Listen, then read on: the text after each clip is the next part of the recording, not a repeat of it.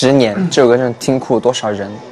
如果那两个字没有颤抖，我不会发现我难受，怎么说出口？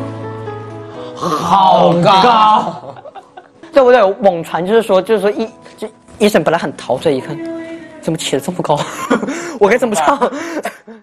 如果对于明天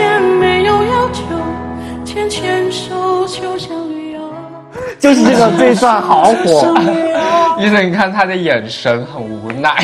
等会有一段高，就是伊森唱歌有一段好搞笑，就是网上很火的，就是他唱身边的那个人 却是谁的时候，他看了韩红一眼，你看，快到既然不能逗留，何不在离开的时候，一边享受，一边泪流。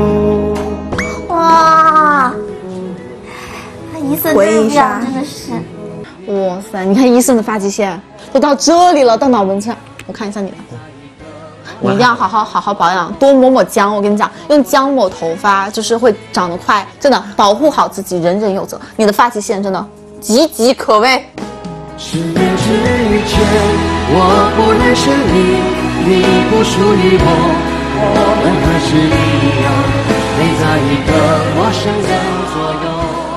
你这个人我都陪了二十二年了，我实在不想再继续陪下去了。今天呐，演员们在那儿出去，总有一个人要先走，你是不是？你，停。我怎么觉得伊森一副生无可恋的表情？不然呢？是韩红老师起的太高了吗？这个毕竟两个是完全不同的曲风，他要唱这个曲风肯定会就像，为什么你知道吗？就像腾格尔唱《隐形的翅膀》啊，哦，懂了。然后费玉清唱《青春修炼手册》啊，懂了懂了懂了。